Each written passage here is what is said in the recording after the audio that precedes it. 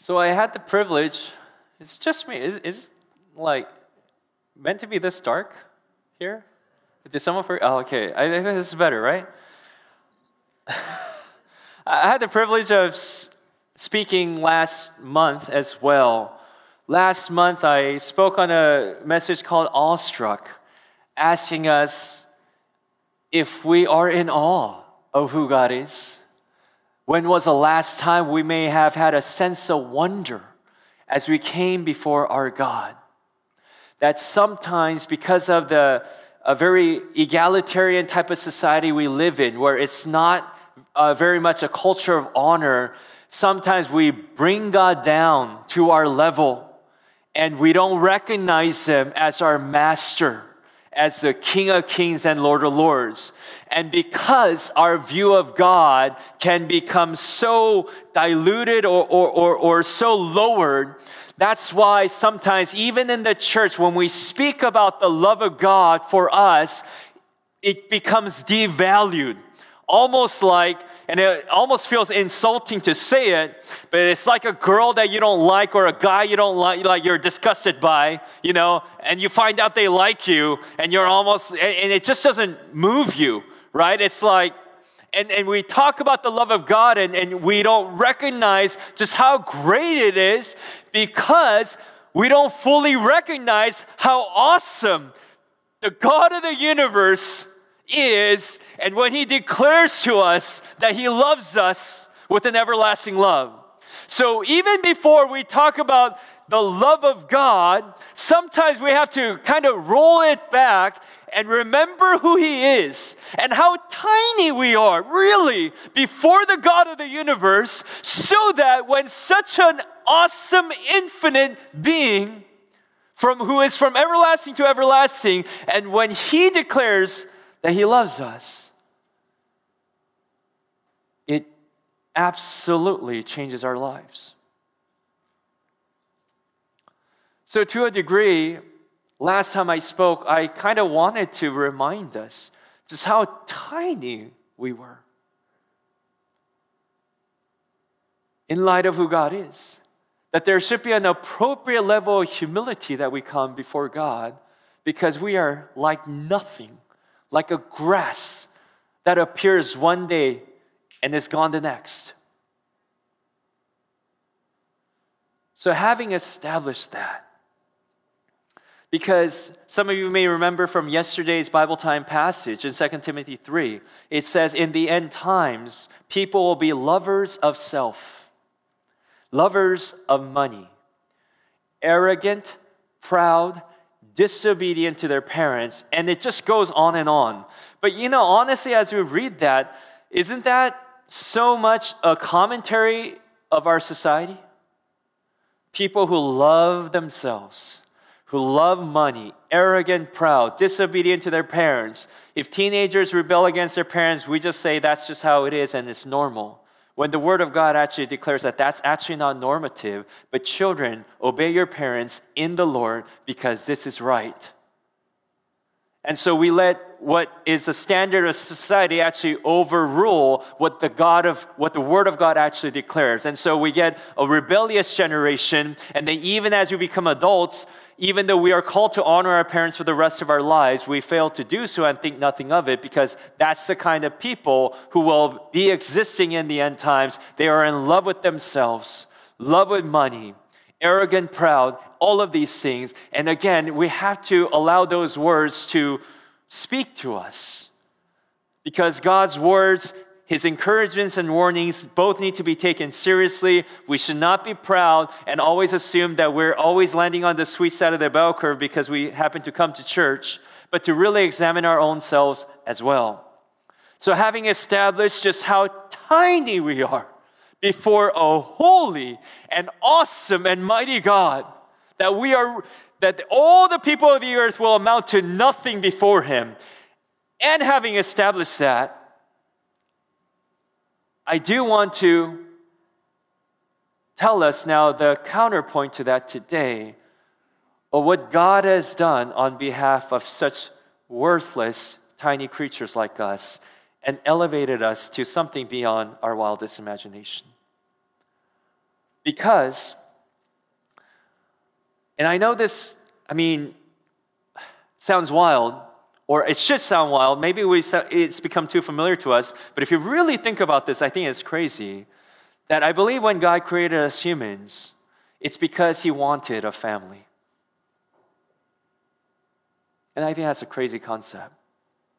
And to a certain degree, I believe that the God of, God of the universe, that he, he had the Father heart, it was His design.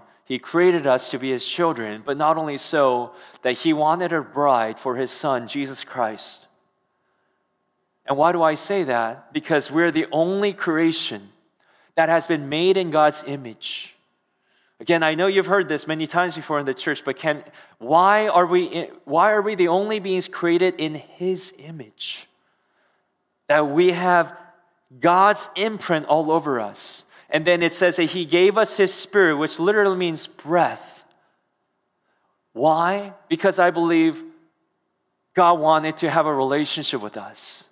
That we are the only beings who could actually know God because we have his spirit, that we are made in his image and so to really understand that God, as crazy as it is, because no other religion has this, it sounds crazy, almost sounds cult like, but it says that Jesus is coming as the bridegroom to take his bride home, that we are going to marry God. A couple of weeks ago, I talked about this to our junior high students. I even talked about sex being holy because that's what it is. It's set apart, holy means. And it is something you don't share with any other besides your spouse. Okay? Maybe they weren't quite ready for that sex talk. Okay? The junior high boys started calling me sus uh, after the message. But I think it's important that they actually hear that uh, in church uh, rather than things from the world. But anyway, coming back to this, that he really desired an eternal companion. That's why Jesus says, When I go away, I'm going to send you the Holy Spirit who will be with you forever. It's kind of wild to think of God in such terms. A brand new creation, a race that was created in His image with His very Spirit and to understand the heart of our bridegroom king who declares that he desires us, that he loves us. Right? I mean, who would come? I mean, why would he marry us if he didn't love us? I say this like when I was engaged to my wife,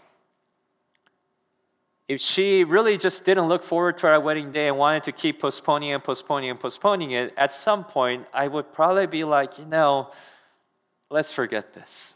Right?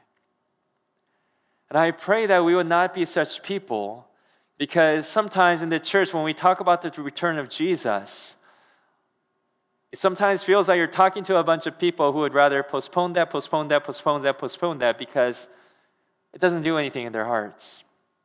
I deliberately asked the worship team today to play songs that declared who God is. Because sometimes we can make our faith so much like the spirit of the world, lovers of self. It's so man centric, okay? To use a fancy term, anthropomorphic instead of theocentric, instead of God centered. Even our faith sometimes reflects that. So bad things happen to us and then we just rage at God, okay? Bad things happening in the world and we're tired of it but instead like to where God is really at the center of our faith. Like he really, the world really revolves around him. It's about his will, it's about his glory, not about ours. And so it's not that we, we shouldn't worship God for what he has done on our behalf. It would honestly be kind of hard to worship him without that aspect. But like, you know, sometimes I see people get really excited to worship God when it's talking about like what God's mercy has done for us or his grace over us. But when we talk about the glory of God, filling the whole earth like water over the seas, sometimes you see blank faces at church, and that should not be where the people of God have no passion for the glory of God. When we ascribe to Him His righteousness in the Psalms, it glories and rejoices in the God of righteousness. I wonder how many times in the church we are so excited and, and, and so thrilled that our God is a righteous judge, that we rejoice in His holiness. And I was telling the junior high kids, because my message was on holiness, that it was actually our privilege to live a life that is holy. Because number one, we can't even make ourselves holy. God does that for us. And I'm glad that we are called to live holy lives, that we're not called to live a lives of harlots. We're not called to dishonor. We are not called to filth. But God has enabled us and privileged us to be able to live lives of holiness. And again, holiness not meaning following just rules. That God is not just interested in just, okay, do A, B, C, D, and E. Oh, you did it. Oh, that's great. But being set apart meant that it was all of your affection, devotion, that He was our first love, and there was nothing that would compete against that. To be set apart, like our wife, our husband is set apart, like even sexual relationship is set apart that it was an intimacy that would be shared with no other. And it was our privilege, our joy, holiness, meaning that we will be so in love with God that there will be no room for anything else to infiltrate that place. So, again, if you remember the story in the Garden of Eden, that they were without shame when they were naked. But it wasn't that they weren't just unashamed when they were naked in front of each other, but they were also unashamed of their nakedness before God until sin came and they wanted to hide. That level of intimacy, being fully known, that was always a design. And I share with you guys about the wedding I went to yesterday, a wedding I'm gonna, I really look forward to going uh, this Saturday, because marriage unlike what people of the world think, is not like a human idea or institution. It was always God's design. Scriptures start in marriage in Genesis 2, where Adam and Eve, the bridegroom and the bride, are in the garden together, naked, unashamed. And God's first command to creation was to be fruitful and multiply. Because again, as, as crazy as it may sound, I believe God wanted a family, eternal brides of His. And Jesus talks about Himself as a bridegroom. In the scriptures, in Isaiah, in Hosea, in Jeremiah, there's passages about the bridegroom and the bride, and it's a prophecy regarding Jesus. And not only that, in the Apostle Paul's letter, he says, I have betrothed you to Christ and I long for you with a jealous love, he says. And all of Scripture ends with a wedding, a wedding supper of the Lamb. And blessed are they who are invited to this, the Scripture declares. So, wedding, marriage, is God's idea, God's institution. It shouldn't come to you as a coincidence or a surprise that these kinds of institutions are attacked in our society.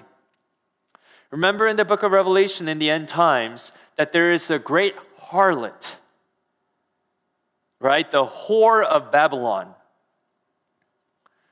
Do you think that the rampant sexual immorality is just coincidence?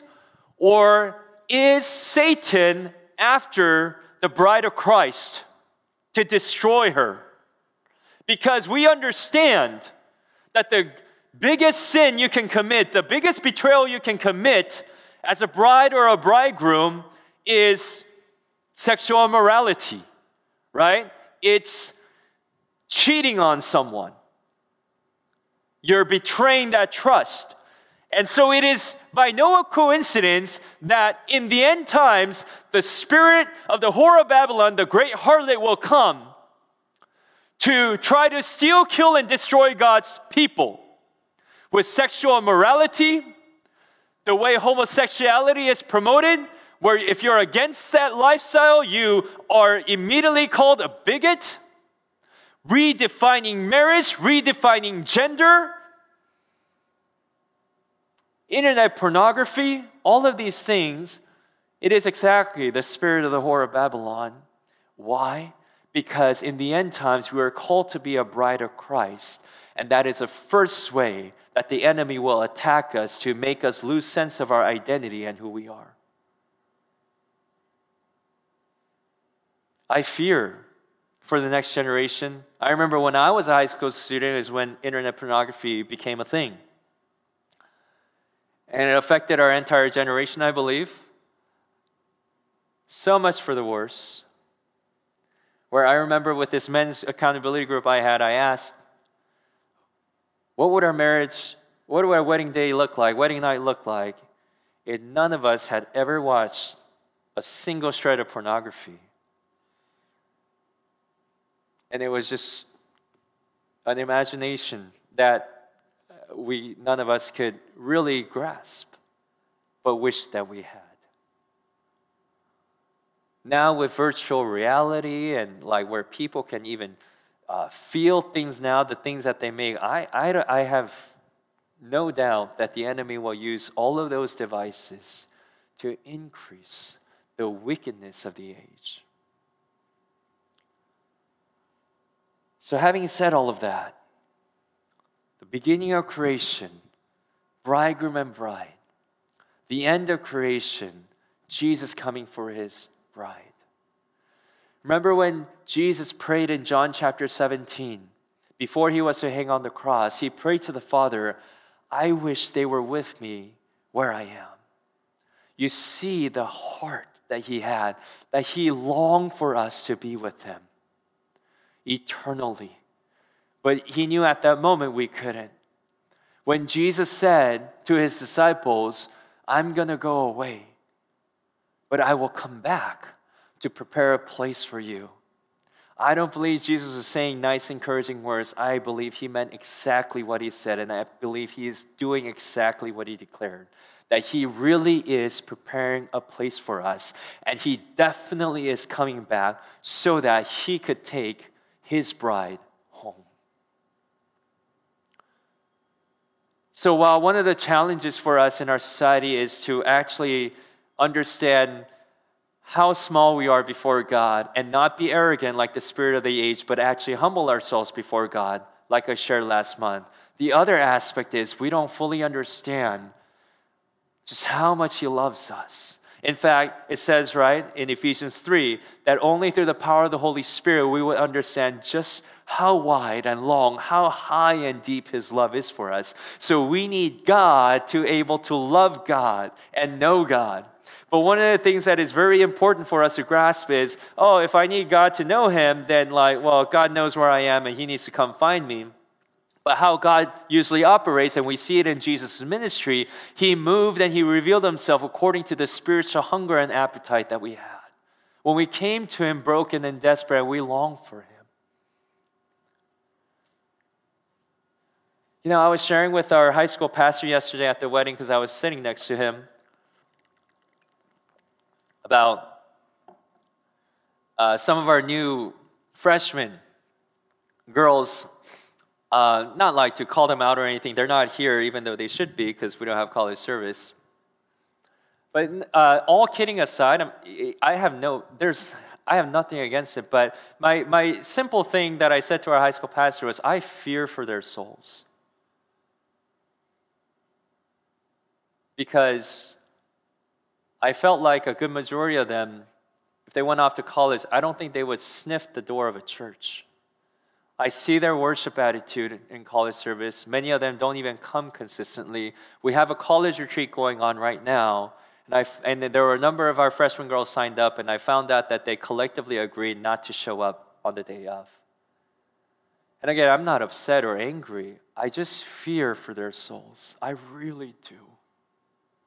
Because this is not some like, oh, are you going to a church retreat? Or it's not about that, because I really believe eternity lies in the balance. And when I see them, there's nothing that I see that makes me think, wow, they know the Lord. And I fear for their eternity, eternal destination. I really do. And I'm going to share that with them. And I don't know how they'll take it, but I don't know. I don't know what else to say. I really, I really do say, I, I, I'm going to share that with them because I'm genuinely concerned and I feel like that's the most loving thing I can do. And just like these girls who chose not to go, like I say, if it's raining outside and if you want to get wet, you have to get out of the house. And likewise, if we want to know His love, you don't just sit there and be like, well, I need His help, so like, I mean, He can come find me. But like, we would choose to go to places whether it's like a college retreat, whether it's this upcoming TD or whatever, we would choose to go outside so you can get wet. Where there are places where there, it's built on prayer and that God's Spirit is moving, and we would intentionally move ourselves and position our hearts in a place where we could receive what the Lord desires. To a certain degree, you know, God has used uh, Tres Dias TD powerfully at our church, especially in the KM. And there was a time when we used to do it where a lot of high school graduates would come.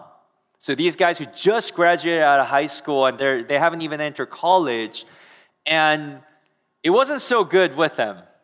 No offense, I know some of you guys went, you know, right out of high school. And the reason why we put a minimum age of 20 is because I believe it was powerful for a lot of these KM folks because they had experienced life and the difficulties and even the bitterness of it, especially a lot of them as immigrants coming to a country they did not know, they did not speak the language, and they felt foolish in.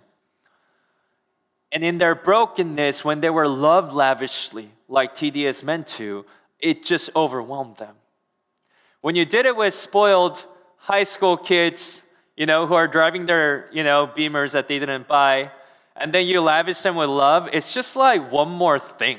You know, there, there's no appreciation of that, which is exactly why we don't let them go. And I recommend against them going because I feel like you need to understand. And so, to a certain degree, I feel like that's what I'm trying to do from last, last time, last month to now, is understanding the brokenness aspect, just really, just how worthless we are really before a holy God and understanding that place, but then when we are called the bride of Christ, just being so mind blown by the God who loves us in that regard.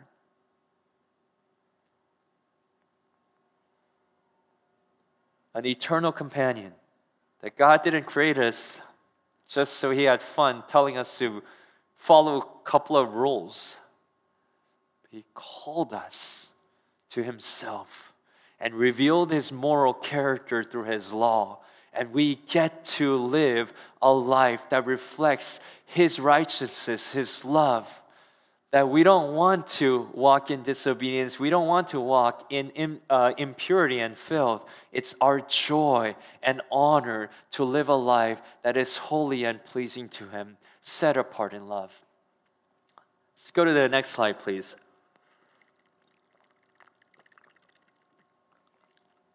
So I want to go through quickly a couple of passages from the book of Matthew.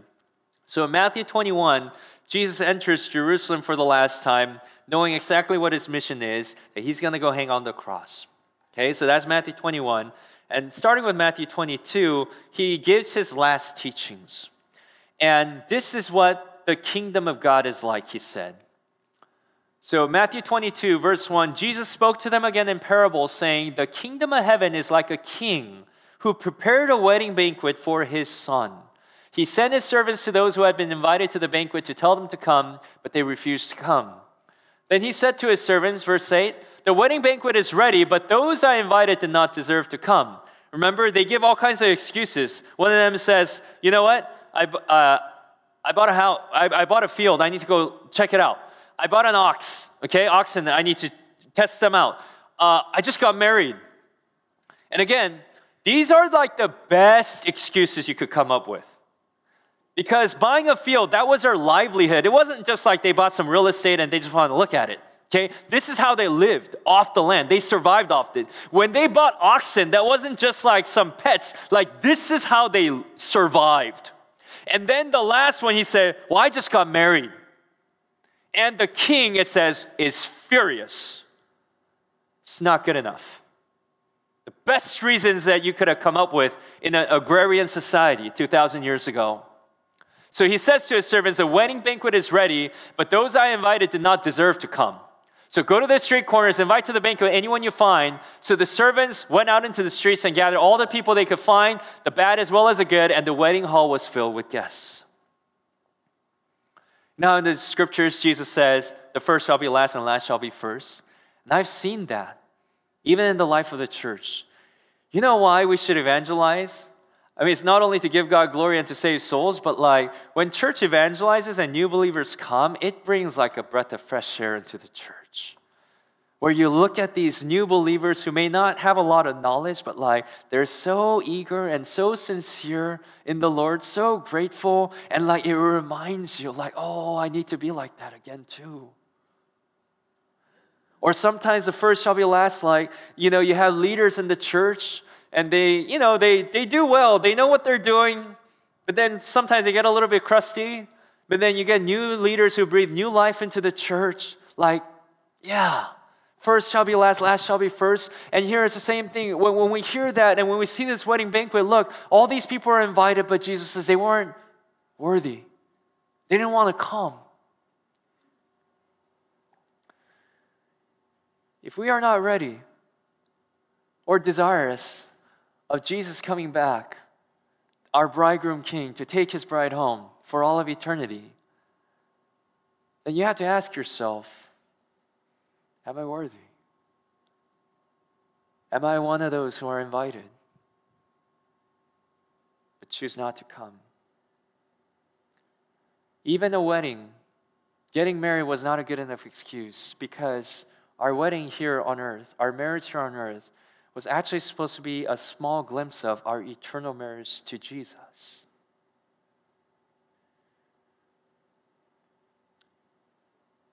Sometimes I officiate weddings, do premarital counseling.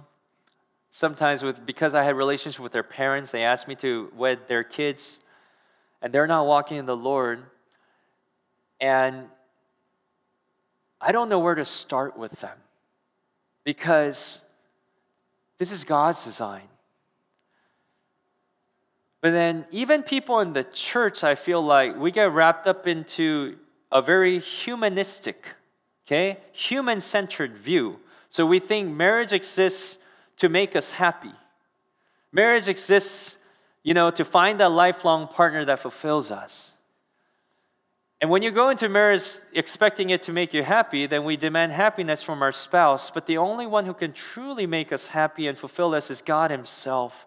So instead of being filled with the love of Jesus and giving that to our spouse, and we demand love from or happiness from our spouse, and when they don't meet it, we get upset.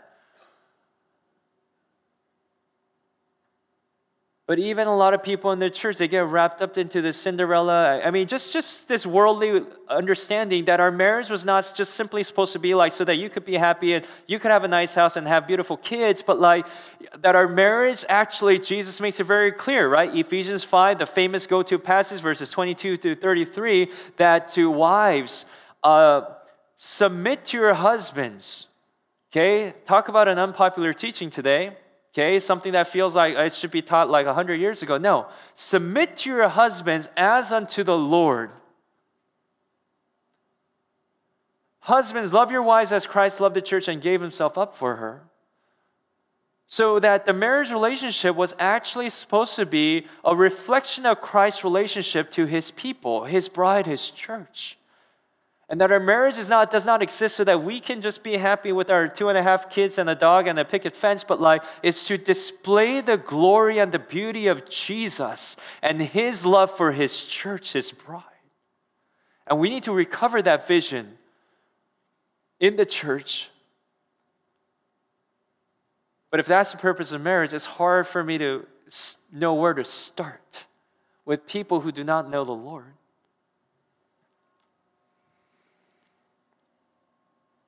Let's go to the next slide, please.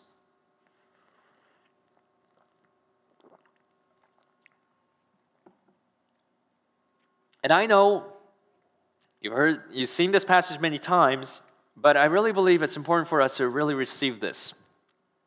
So, Jesus entered Jerusalem for the last time. He teaches about what his kingdom is like, like a wedding banquet. And then he moves on to talk about what to expect in the end times. Okay, this is what's going to happen. You will hear of wars, rumors of wars, but see to it that you are not alarmed. Such things must happen, but the end is still to come. Nation will rise against nation and kingdom against kingdom. There will be famines, earthquakes in various places. All these are beginnings of birth pains.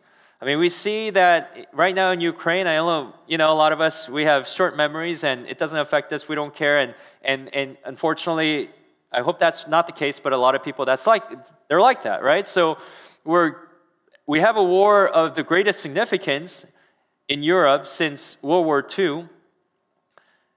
And it's only the beginning.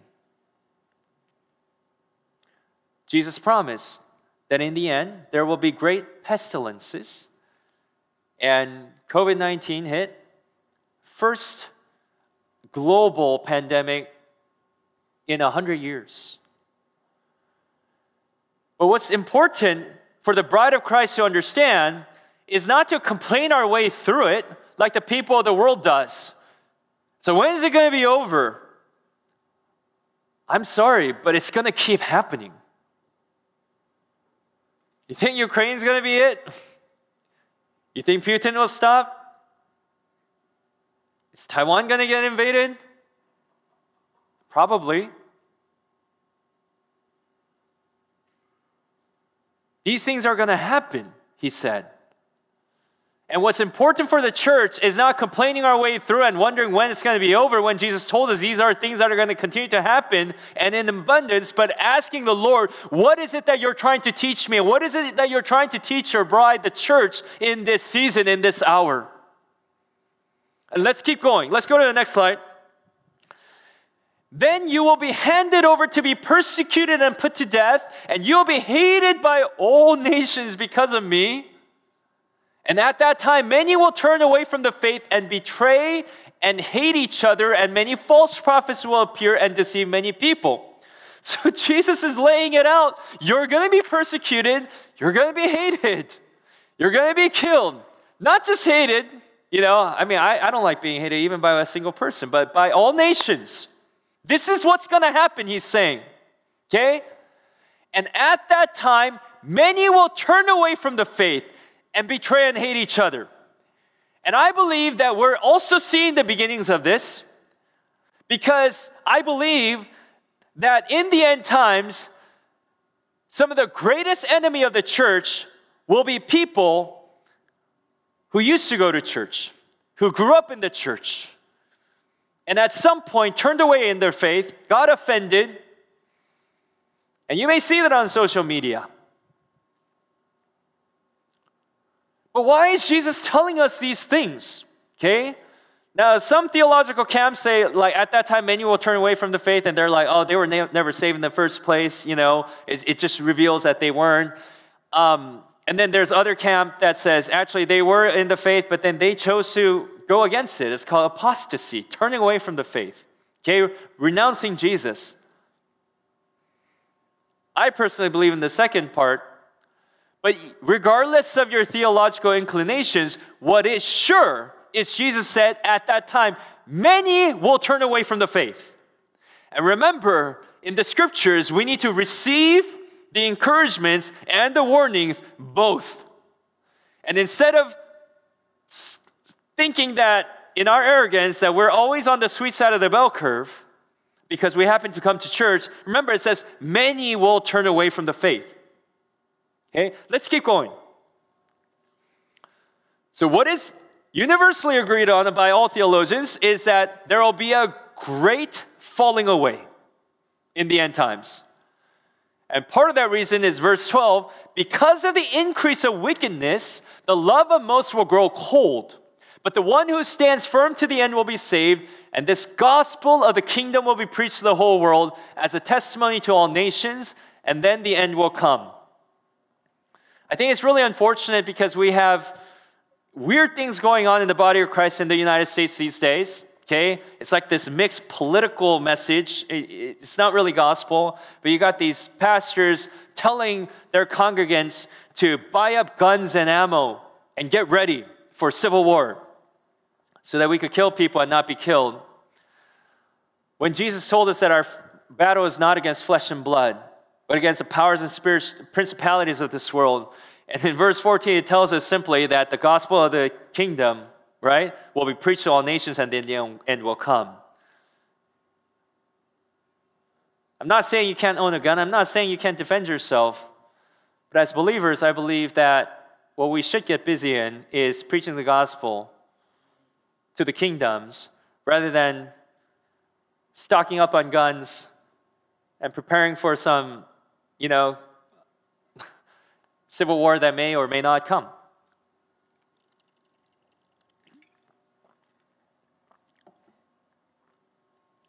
Why is it that this is a condition before Jesus is coming? And I say it like this Why is the increase, why is there increase in the wickedness where love of most will grow cold? If I were to use like a military analogy, if someone was being trained to be a Green Beret or, you know, the Navy SEALs, I mean, they, they, they go through crazy training, okay? I've only heard of it. I've read about it. It's like, I'm like, wow, they're, they're trying to kill these people, right? I mean, they take you to the brink of death almost. Because that, I guess that's the kind of training that they need, the special forces. And in a sense, when we see Revelation 19, it's not just a few people who get saved, there is a great multitude who choose to love the Lamb, the bridegroom, Jesus Christ, who was slain and resurrected on their behalf. And they were faithful even to the point of death. And it's just nations upon nations of people declaring how worthy he is. And why is that happening? in conjunction where the wedding banquet is coming in conjunction with the day of judgment.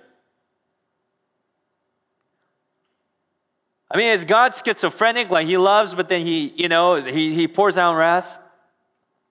One of the things, because we're human and we're finite, we have to understand, like, when we hear we're the bride of Christ, when we hear we're the slave, bond slaves of God, when we hear we're his sons and daughters and so forth, like we kind of have to jump from one to one to one and try to hold it in tension and so forth. But God is not like that, okay? God is infinitely loving, He is infinitely just, but He doesn't have to jump from one attribute to another. He's like that in all of His qualities, eternally and simultaneously. And what is going on is that in that kind of environment where there is a great increase in wickedness and many love will grow cold, it is actually that environment where the bride of Christ arises and show themselves to be lovers of Jesus. That Jesus is not returning when things are just kind of like, you know, decent or, or like just half-hearted and, and like oh yeah there's these people who love him but like it's gonna be like a crucible almost of like those who stand firm to the end will be saved but then there's gonna be an environment a world that hates us a world that believes in something else and great increase in wickedness. As we see the spirit of the harlot the whore of babylon inc- uh, just increasing attacking human sexuality, family, all of these things, but it is in those times where the bride of Christ will reveal herself to be who she truly is. It's not like God loves it, you know, to make us suffer or make us go through hardship because he thinks that's decent and nice for us. It is that very environment where there will be a glorious bride arising and will show herself to be different from the world who is now following the spirit of the Antichrist, and he is coming too for sure.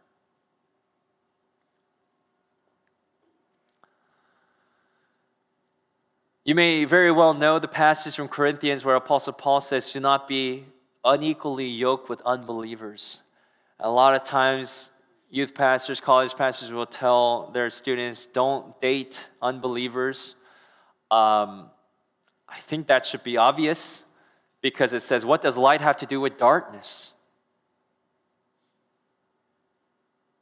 If Jesus really means anything to you, I honestly can't see why we would choose to yoke ourselves or date someone who does not know the Lord. It just doesn't make any sense.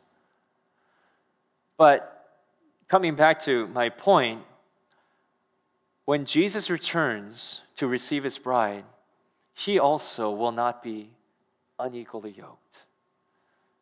That he says, Those whom he justified, that he will glorify.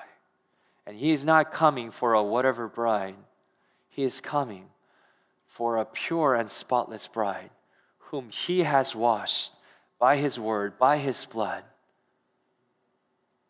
and that is who he is calling us to be. That is, that is what human is. And that was always God's design.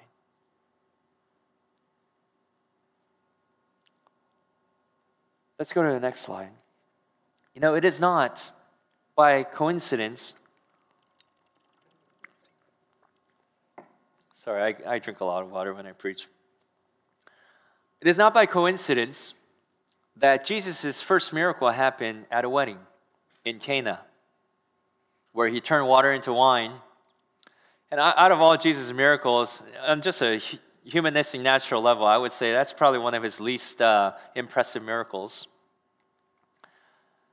But the purpose of that was back then, the Jews, they would ceremonially, ceremonially wash themselves with water before they could enter the temple. But him turning that water into wine, he was declaring that a new day had arrived, where no longer will people be ceremonially clean by the washing of water, but that now they will be washed by the blood. And it won't be that they will be ceremonial clean, but that they would actually be clean. That's what that miracle is. But like again, it's not coincidence that he did his first miracle at a wedding. It's a thread from beginning of the Bible, from Genesis to Revelation, and he was revealing himself to be the ultimate, the eternal, glorious bridegroom. And so when he shares what's going to happen in the end times, the very next teaching he shifts to is a parable of the ten virgins, how an end time people need to live. And notice that these are ten virgins. Virgin, virginity indicated something pure, right? This is what Jesus did for us. And now it goes on. At that time, the kingdom of heaven will be like ten virgins who took their lamps and went out to meet the bridegroom. Five of them were foolish and five were wise. The foolish ones took their lamps but did not take any oil with them. The wise ones, however, told, took oils in jars along with their lamps. The bridegroom was a long time in coming, and they all became drowsy and fell asleep. Next slide. Verse 6. At midnight, the cry rang out, Here's a bridegroom, come out to meet him. Then all the virgins woke up and trimmed their lamps. The foolish one said to the wise, Give us some of your oil, our lamps are going out. No, they replied, There may not be enough for both of us and you. Instead, go to those who sell oil and buy some for yourselves. But while they were on their way to buy the oil, the bridegroom arrived. The virgins who were ready went in with him to the wedding banquet, and the door was shut. Later, the others who came, Lord, Lord, Lord, they said, open the door to, for us. But he replied, Truly I tell you, I don't know you. Therefore keep watch, because you do not know the day or the hour. That verse 13 is for you and for me. It is not something spoken to other people. We all must keep watch because you do not know the day or the hour.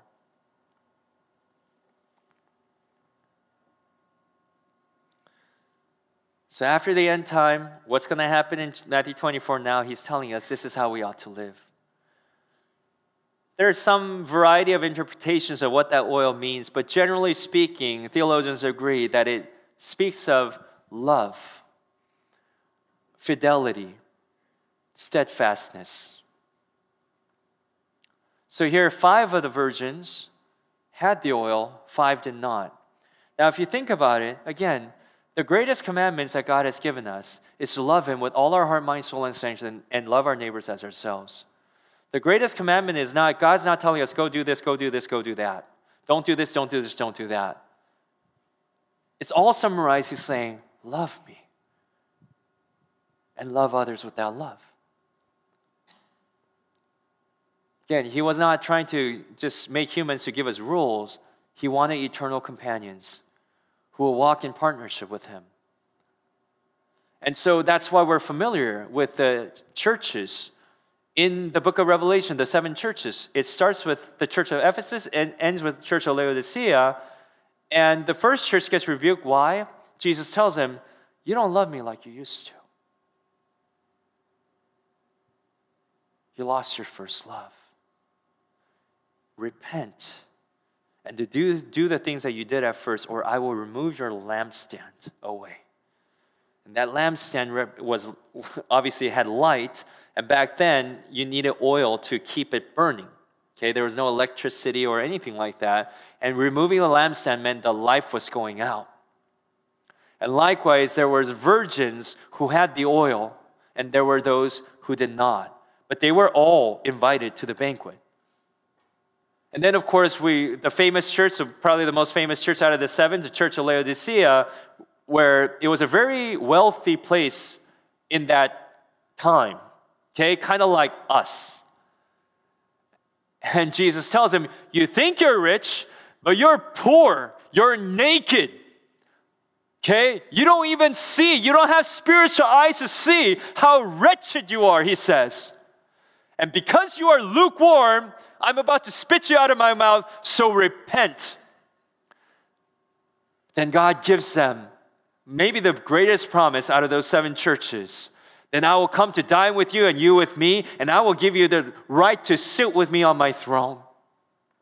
Incredible. But maybe more than the throne is that we get to sit with Him together. And so, what I'm saying is this. It's unfortunate because when you talk to lukewarm people, I mean, because they don't have spiritual eyes to hear or see, loving the Lord your God with all your heart, mind, soul, and strength, that always needs to be the first priority of our lives. And I, I must be honest myself, like sometimes I lose my way, and so I constantly need readjustment back. Like, okay, I need to bring this back. I need to bring this back. You know, like Martha, she, you know, we need to be like Mary. Like Martha, she was serving, right? And then she got, she got upset. It's not like Mary just sat and did nothing all her life. But the reason why a lot of people in the church they burn out is because they serve with the wrong spirit or out of their own strength. It's usually not because they're like serving too much, but we need to be like Mary, that even when Mary's in the kitchen, she knows who she is doing it for and with what spirit she is doing. But anyway, uh, coming back,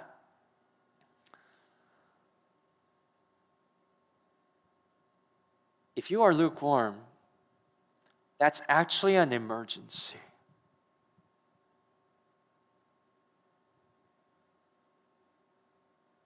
That's an emergency. So when Jesus tells them to repent, he's not telling them to repent tomorrow or next week.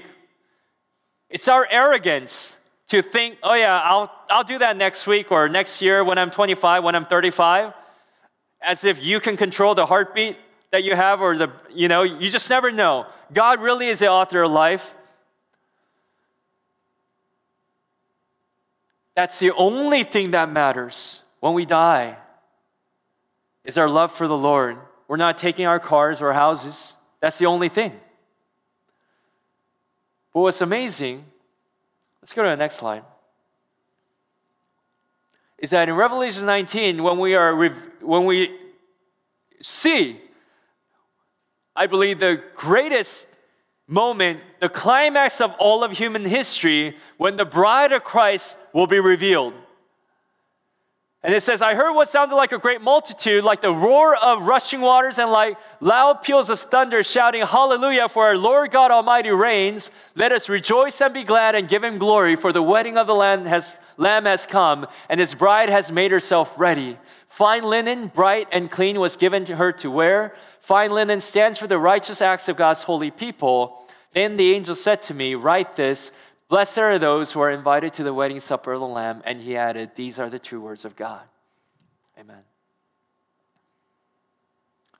Notice the fine linen stands for the righteous acts of God's holy people. And what Jesus promises us is that even giving a cup of cold water, that will not be forgotten. And that what you do in, in the Lord's name, He will reward you. And that's the way of God's kingdom. Even small acts get richly rewarded in the eternal kingdom. Let me ask the worship team to come, and I want to kind of tie the knots together and bring things to a close.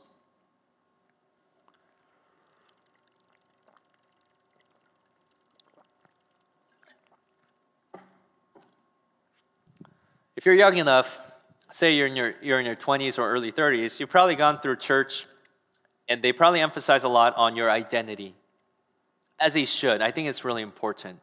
But even that, I sometimes feel like gets tinged with this humanistic, okay, man centered faith, which is really no Christian faith at all. And it just focused so much on identity, identity, identity, and then we try to relate to God. But actually, the right order is beholding who God is and understanding the truth of who He is, and then finally understanding the truth of who we are in Him.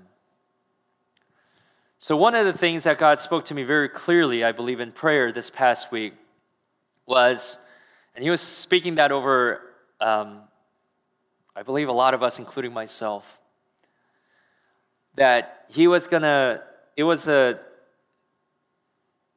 showing a, a vision of taking off your old glasses and putting on a new pair of glasses to get a clearer vision of who he was our bridegroom king.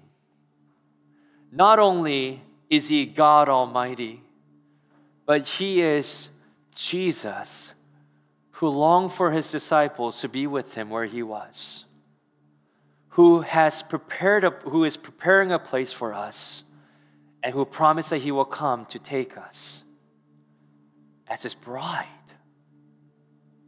lavished by his love. Part of the reason I believe that there are people in the church who are bored. I mean, the main reason is because you're, you're not being able to see him. If you are able to see him with your spiritual eyes, you would never be bored. You would be captivated by the glory of who He is. You'll be fascinated by His wonders, and you will be just so overwhelmed by His love.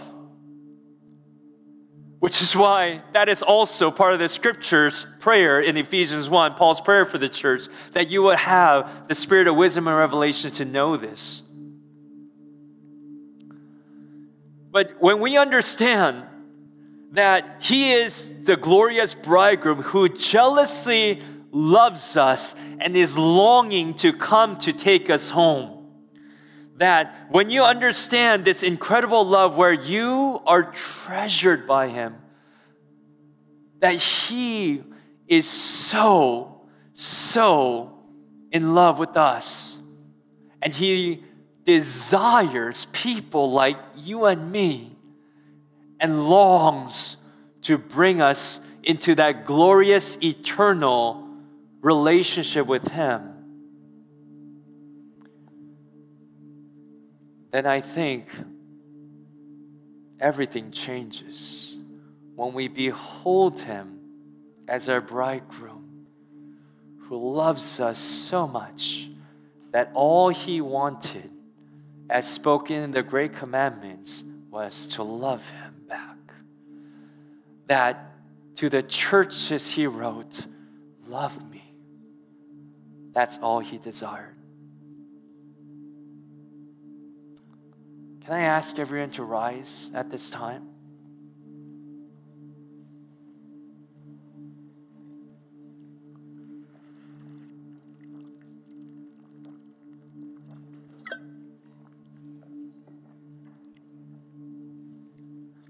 going to lead us in prayer uh, and then we will close with song together. Um, let's take this time uh, to worship Him and declare who He is.